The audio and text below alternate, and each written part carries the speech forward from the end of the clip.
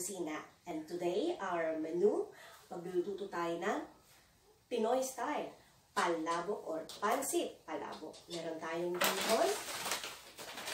At meron tayong crush, chicharon, boiled egg, shrimp or hipon.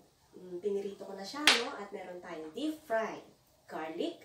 At meron tayong gagamitin lemon or calamansi, pwede din. At meron tayong dried smoked fish or tinapa. Ginawa ko dito, guys.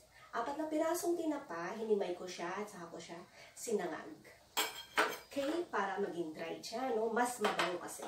Mas mabango yung kanyang aroma para sa pansit palabo kapag dried na ihalo natin. At meron tayong chopped spring onion. At meron tayong gagamitin pang lasa nor uh, pork cubes or broth cubes ng pork. At syempre meron tayong pamasitas na palabo. So, mix lang natin to guys sa water.